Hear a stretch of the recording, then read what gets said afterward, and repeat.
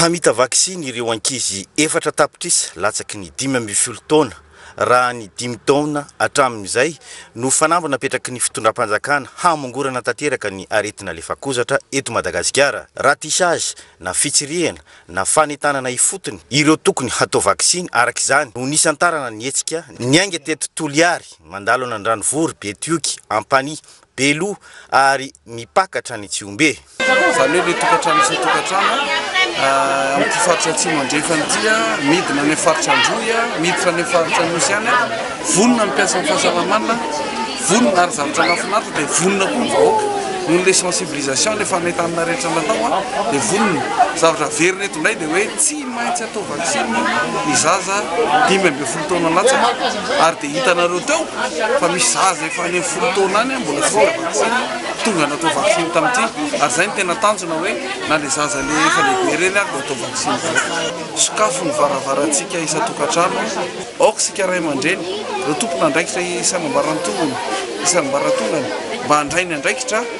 Mba azahoany ireny mpanao vaksiny ireny ho tonga any amin'ny tokantranontsika tsirairay avy hanao vaksiny ny zaza izay azahoana